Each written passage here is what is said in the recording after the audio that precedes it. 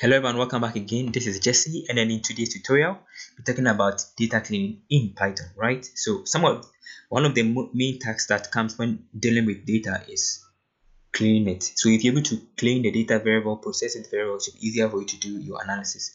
So some of the common issues you may find with data when diagnosing your data is reading the file. May have issues reading the files. Either the file was not saved in a proper format, right? It was not encoded properly is having rules that are not consistent, so you're supposed to skip them. Then the next one is inconsistent column names. So the naming of the columns are not consistent or they don't even have names at all. Then maybe missing data, which is very common. They are empty, uh, empty values there, and also different data types. Instead of the column having the same data type, it may have different data type. So maybe they are in strings, you're supposed to convert them to integers so that you have to work with them. Then also duplicate rows, having the same row duplicated or in multiples. So first of all, let's see how to deal with each and every of these issues in this tutorial. So loading or reading error. So the first error is encoding error. So let's see an example. So I have this my data set here, and then I'll be trying to read it so that you see what I'm talking about. So that's telling me that it's having a Unicode decode error, right? So the problem is not with the problem is not with the pandas, but the problem is with the file. So it's, it's it has not been encoded well. So it's telling me that it is UTF-8 codec can't decode bytes, right? So it's giving us an error. So how do you solve it? So the first way of solving this issue is to encode it, right? Encode it. So we can encode it with this format of using either we can use a different encoding format. So encode coding and then I'm going to set it as Latin Latin 1 so when I do it like this Latin 1 let's make it Latin 1 here it will be easier for it to be read so that it's perfectly does no it not give us any issue. So if i read it it's perfectly working right? It is working perfectly. So that's one of the one of the ways of solving this one. But putting it in latin may not help you all the time. So you need to put it into utf-8 right? Which is standard code. So the other way of solving it solution 2 is to use a text editor. And then you save it as your file. So we go and go to our file which was unclean data. Just here. Okay this is our file so we can open it with our text editor right? So when i open this format it's telling me that it's having utf decode error right? Bad format. So i can use sublime which is any of text editor you have. Then i can drag it and save it. So i'll be using this. The reason why i'm using this one is because the first one has encoded it so it will not see the issue. So this format right and then i'm going to save this one not this place i'll go to this place file then i'll save with encoding right? And i'll save it with utf-8 so now it has been saved in utf-8 so when i come back to my data set what i was doing to be perfect in a perfect format for me to work with. So i can just do it like this. Now it was one because we save it as one. So I can just automatically read it and not give us any issue. If I do head perfect it's now it's now perfectly working so that is the second issue so I mean I prefer this issue because it's simple so that is one of the ways of doing it I can even bring the encoding UTF-8 and then it's going to perfectly work like it was working previously Nice. So that is one issue down. So now let's see the next issue. The next issue is with the column name. See that the names are not properly aligned. This is director capital, capital, small letter. So how do you do that? So it should be consistent. So that is inconsistent column. So either we change the cases and then we rename them. So let's try to how to change the case, right? So let me bring this one here. Right, let's see how to change the case. So for example, we have columns. They're going tell us this is the column that we have right so they are not consistent some of them are capitals others are in small letter case letter and all those stuff so let's try and see that. So do that just go columns dot string then upper. Maybe you want to convert all of them to uppercase so now all of them is in uppercase so i can equate this one. So now all of them is in uppercase so now let's try and then do it in a different better format. Because when i do it in this format if i do it like this again those columns it's going to tell me that it is still the same one. No changes so i can rather equate this one dot columns with what i have. And then now if i go back with the columns it has changed everything to capital so now I can work with it. So that's one of the ways of changing or dealing with inconsistent column names right? Making them all capital or lowercase. You can also rename it. Maybe I want to rename one of them into different format for example let's say we have duration. I want to name duration into time. So to do that I can just go with df dot rename then the column that I want to change this format can also be used for all the columns right? So columns then I put I pass in my dictionary. So the first one is going to be the old name. So duration. And then the next one is going to be the new name that I want to put there which I'm going to make it maybe time right so if I do it like that if I change it it's going to actually work perfect you see that has changed it to time right? So that's one of the ways of renaming the entire stuff so these are this is one of the ways of solving the inconsistent issues. Now let's move on to the next issue that we may have. So the another issue that we can have is missing data which is very very common. So there are three ways or four ways you can solve it. You can just add a default value for that missing data or they use the mean to fill it or you can delete the row with the missing data or interpolate the row or replace it. So let's see how first of all check for the missing data right? So to check for the missing data there are two main formats. You can just do df right? It's null. It's null can be used to check for missing data. So if i check it's null like this it's going to list it in this format. So it's null means that it's checking for those that is with null. So the false false means that it's having data. And then the true true means that there is no data there right? So it is that's why it's put it as true. But this is difficult to read. So you can just go further then make it in this format of so this format is quite difficult to read. So how do you do that? So you can make it more simple for you to know it by going with right with df is null dot any. Sorry. So this is going to list it for us just like the previous one. So it's going to tell us each and every of the column with the with the boolean true or false with the missing value right? That is how it's going to doing it this is the same as this one here. Right. So you can do it like this. Then it's going to work. You can also even add it again. It's any going to tell us that the entire data set is having missing value which was supposed to be here. No it's still the same thing.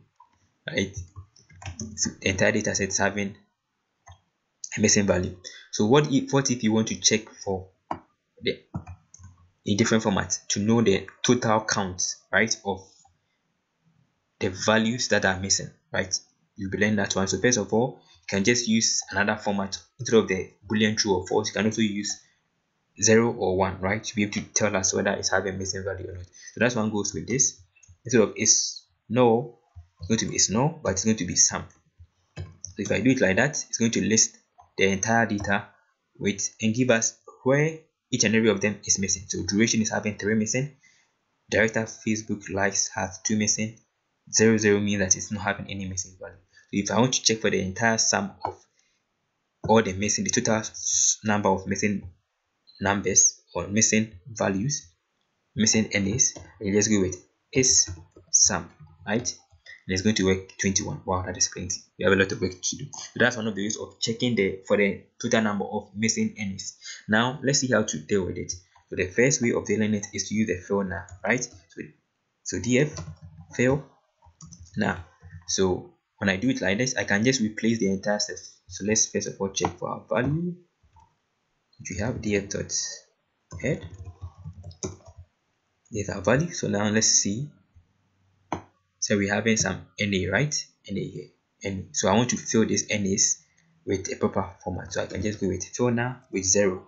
I want to fill the all the nars with zero. You should be careful. Sometimes some of the data set may have zero as it as part of it.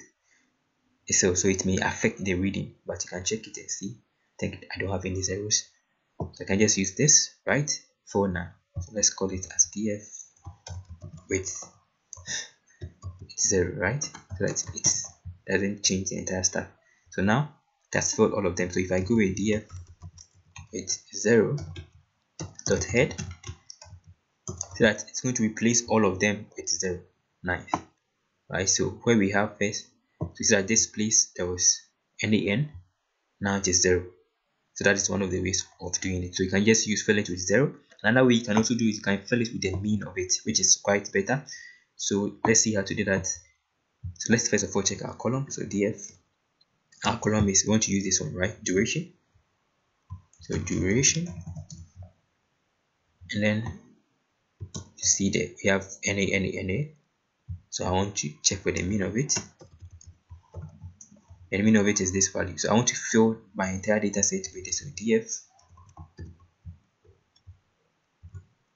df dot with mean. I'm going to call it with mean, right? And I'm going to make it like this. Instead of filling it with now, I want to fill it with the mean value, right?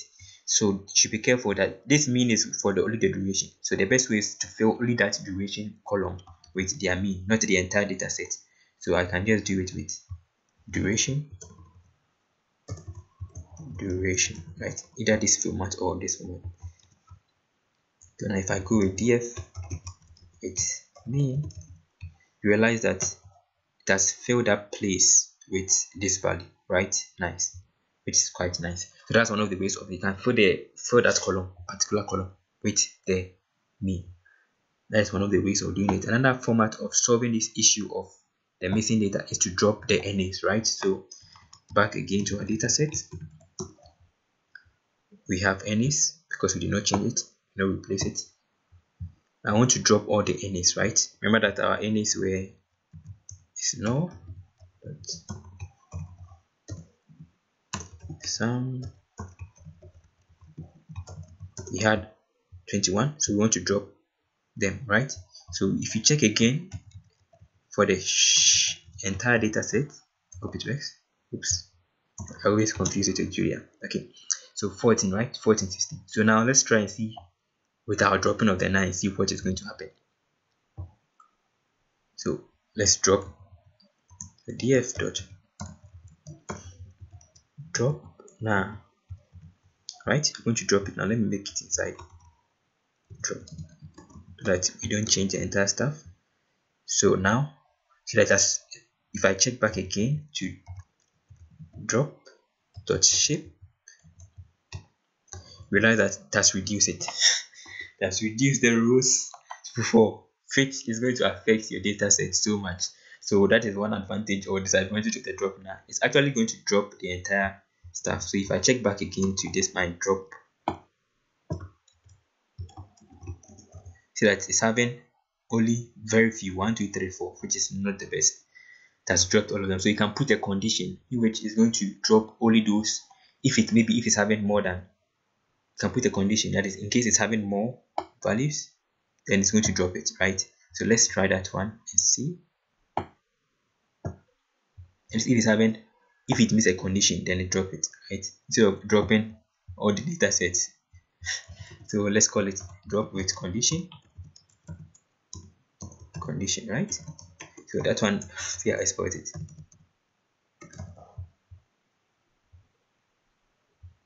drop with a condition. So how do you do that? I think the best way to do that is we can put a condition there. So it's going to be df dot drop. Now and I'm going to say that how do you how do you drop it? So first of all I want to drop it if either with this format of the how right?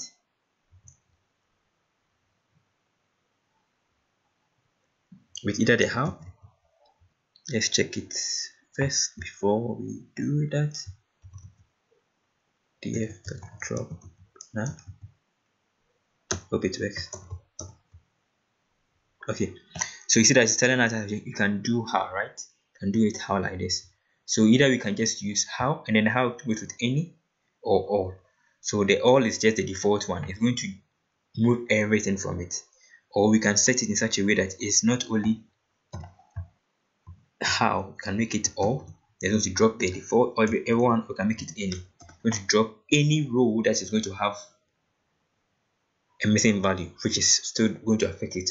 That is one of the conditions. The next way we can also do it is we can actually use the thresh which is very this is what the condition very very useful. So i can put the thresh to make it the thresh right?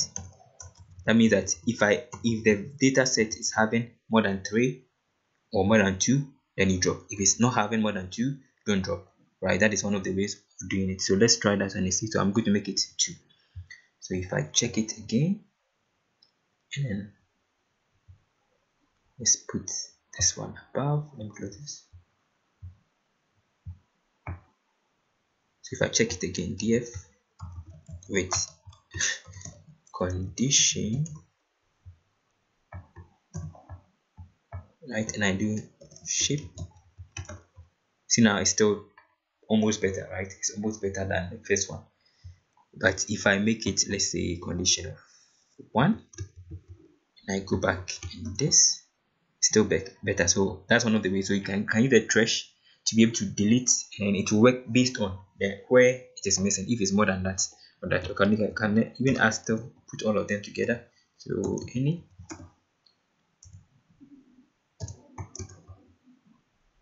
and back again. Still perfect. So that's one of the ways of working with it. So that is one of the ways of dropping it based on the condition. Now let's move on again to some of the things we can also do with so this same format can also be used in case maybe you have a column and you want to you, do, you don't see the essence of the column and then you want to move it right? You can also use the same thing. So let's check for the shape of our this shape. We have 1416 so i want to delete a column from it right? So you can just use the same dropna stuff to do it. Which is going to be like this. Sorry so let's say df drop right? And i want to drop it. So i'm going to change it from axis zero.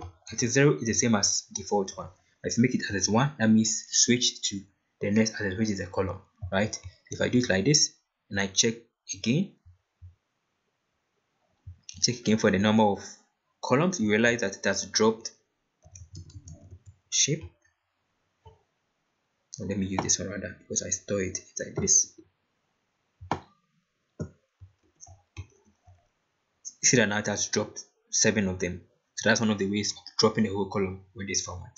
Thank you for watching. If you have any question or contribution so just put inside the comment section so that everybody can also benefit. This has been a long tutorial. Stay tuned for the next one on how to work on duplicate. Thanks for watching and stay blessed